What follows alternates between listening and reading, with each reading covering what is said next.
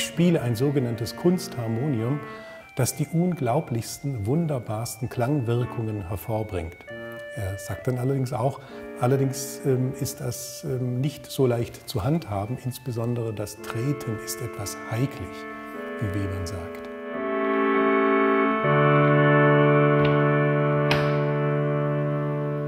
Herr Richli, darf ich Sie fragen, was ist ein Kunstharmonium?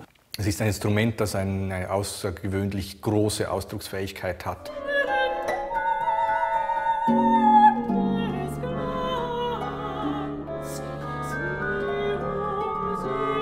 Im Nachlass von Schönberg hat sich ein Manuskript erhalten, ähm, das sehr wahrscheinlich zur Vorbereitung der Uraufführung in Berlin 1912 verwendet wurde.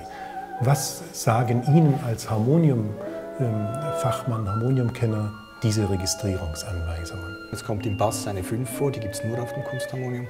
Es werden die eckigen Kästchen um die Ziffern der Siegel verwendet, was Kunstharmonium typisch ist. Und es gibt Stellen, die vermuten lassen, dass die Doppelexpression zum Zug kam.